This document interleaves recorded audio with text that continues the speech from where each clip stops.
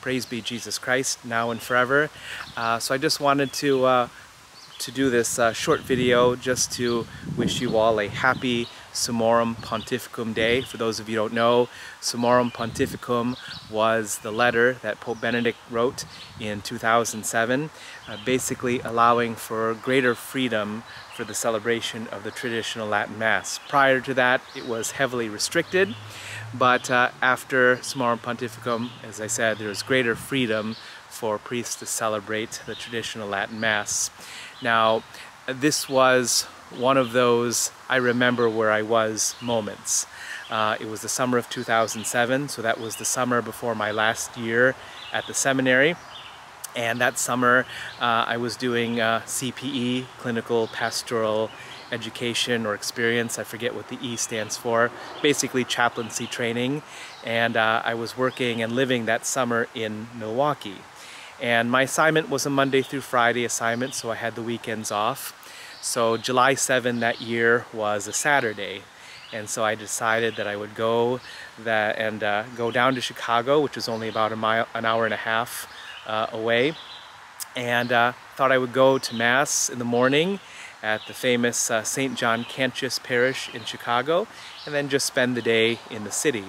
Uh, now those of you don't know, uh, St. John Cantius is very well known for uh, sacred liturgy, sacred music and chant, uh, sacred architecture. So those who have a great love for those things are very familiar with the parish uh, St. John Cantius. Now 2007 was the year that the iPhone came out and uh, uh, back then I had uh, basically a flip phone just like the one that I'm using right now and there was no Wi-Fi at the seminary where I was staying and uh, so I had no access to the internet and uh, so I didn't know what was going on in Catholic news and had no idea that something like Summorum Pontificum was was coming out.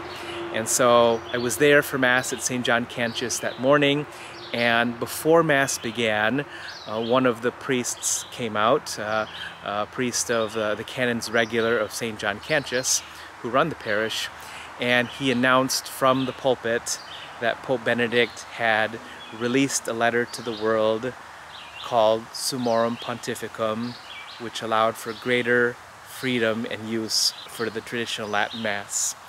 And I remember vividly the collective gasp that came from the congregation.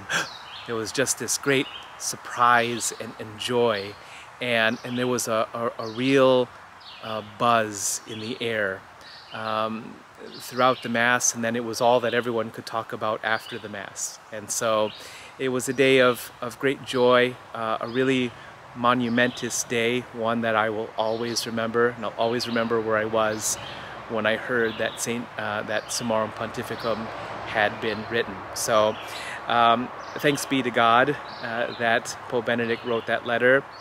And we pray that the fruits of Summorum Pontificum will continue to flourish in the life of the church. But that's just something that I wanted to share with all of you. Uh, again, a happy Summorum Pontificum Day, and uh, may God continue to bless the church and, and bless us here at St. Edward.